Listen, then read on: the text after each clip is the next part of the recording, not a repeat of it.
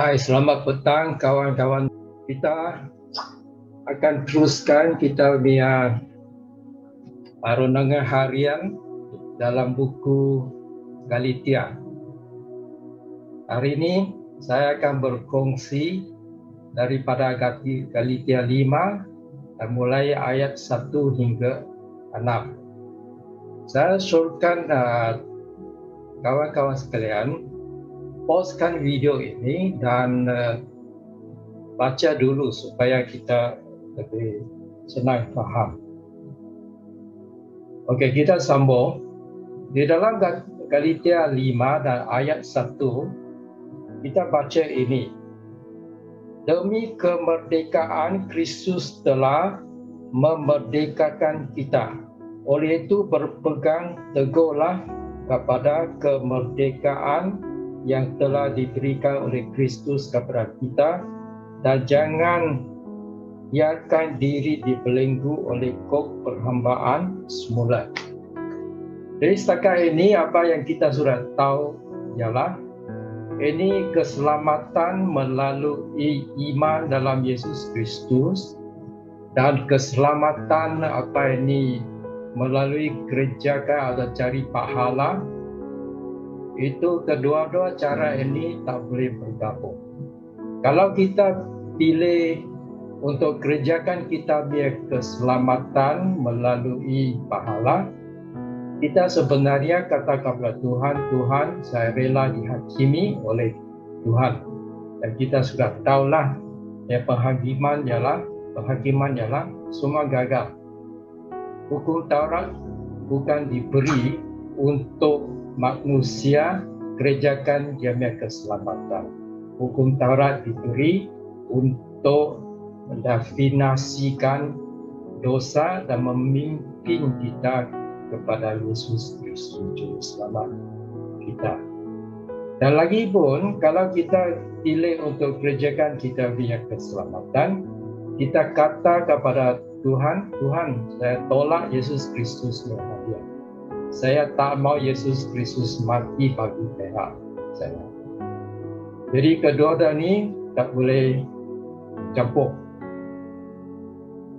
Dan kalau kita sudah percaya dalam Yesus Kristus, janganlah kita buat perkara yang tidak masuk akal.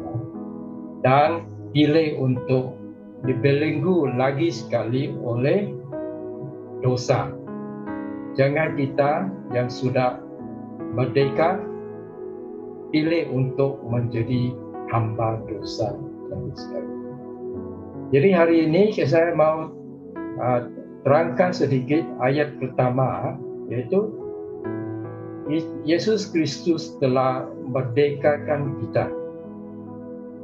Apa maksudnya dari segi apa Yesus Kristus telah merdekakan kita? Sekurang-kurangnya saya boleh nampak lima segi atau perkara yang kita menjadi merdeka atau bebas. Nombor satu, kita bebas daripada hukum dosa. Kita kata upah dosa ialah maut. Kerana dosa kita mati.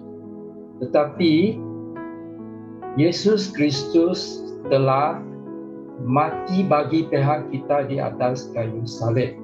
Jadi kalau kita terima Yesus Kristus punya kematian bagi pihak kita, kita bebas daripada upah dosa. Kerana kita punya apa ini upah dosa itu kematian sudah dibayar oleh Yesus Kristus. Jadi kita merdeka, kita sudah bebas daripada upah dosa kita karena sudah dibayar oleh Yesus Kristus untuk kita. Kita hanya terima saja. Nombor dua, kita bebas atau merdeka daripada kuasa dosa. Dosa ada kuasa. Kalau kita ingat Roma 7, ah, Paulus katakan ini perkara yang dia yang baik ya, yang dia mau lakukan sebenarnya dia tidak boleh lakukan apa yang dia lakukan ialah perkara yang jahat yang dia tak mau lakukan. Mengapa masa itu? Itu ialah kerana dosa tabii di dalam manusia semula jadi. Hukum Taurat mendefinisikan uh, apa ini dosa? Dia membuatkan kita mau berdosa. Baik itu? Kita berdosa secara semula jadi. Perkara yang baik yang kita mau buat kita tak buat. Perkara yang kita mau buat sebenarnya ialah perkara jahat. Itu ialah kuasa dosa. Tetapi kita bebas daripada kuasa dosa. Itu kalau kita beriman di dalam Yesus Kristus betul kita tidak bebas daripada godaan tapi godaan itu bukan dosa dalam Yesus Kristus kita sudah diberi jalan keluar. Setiap kali kita digoda, Tuhan akan memberikan jalan keluar. Sebab itu kita bebas daripada uh, kuasa dosa. Nombor tiga, kita bebas daripada kekhawatiran atau kita merdeka daripada kekhawatiran sama ada kita pergi ke syurga atau tidak pergi ke syurga.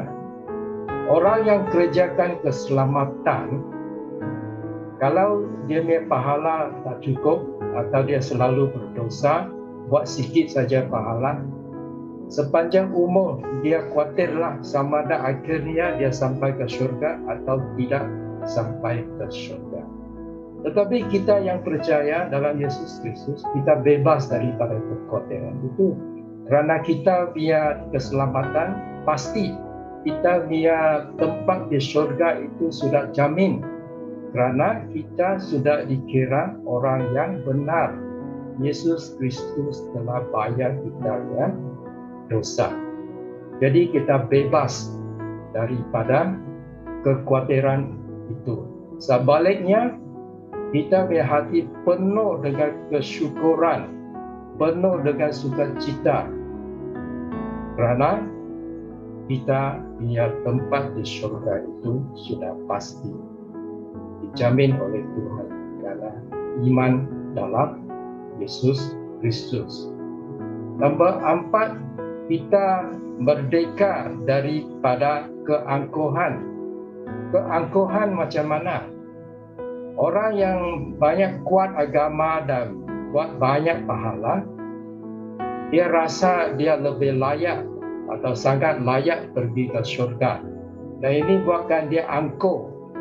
Dia rasa dia orang yang baiklah daripada orang yang tak banyak pahala. Jadi dia jadi angkuh. Tapi kita bebas daripada keangkuhan itu.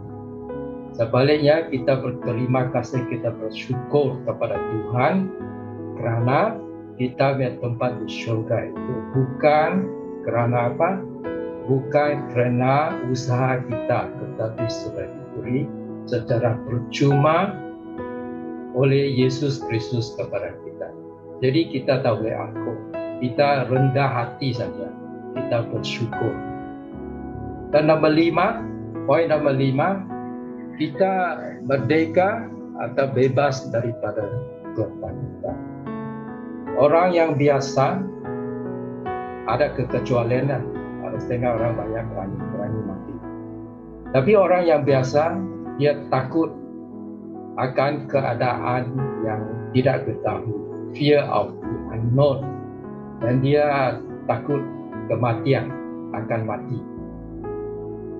Tetapi di dalam Yesus Kristus, walaupun kita takut, tetapi kita masih boleh melangkah dengan iman dan keberanian.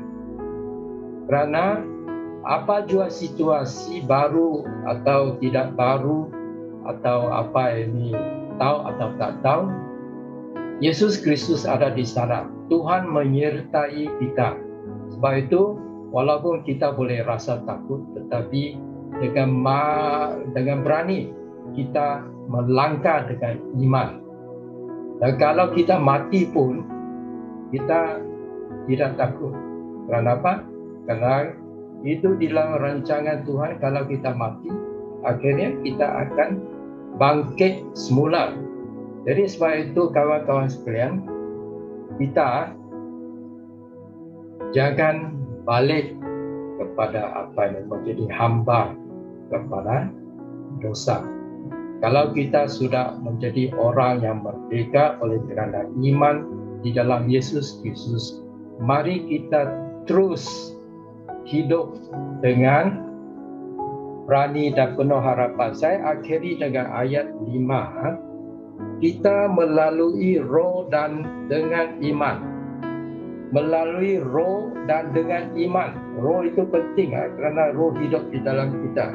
Melalui roh dan penuh iman, bersungguh-sungguh menantikan harapan mendapat perkenalan.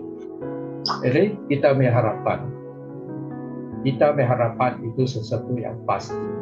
Kita melihat tempat di syurga pasti. Sebab itu kita bebas. Kita hidup dengan sukacita dan damai sejahtera. Kita hidup dengan iman. Kita laku adil. Kita laku kasih. Kita hidup suci. Semua demi untuk kemuliaan nama Yesus Kristus. Okey, jadi kawan-kawan semua, uh, Tuhan berkati.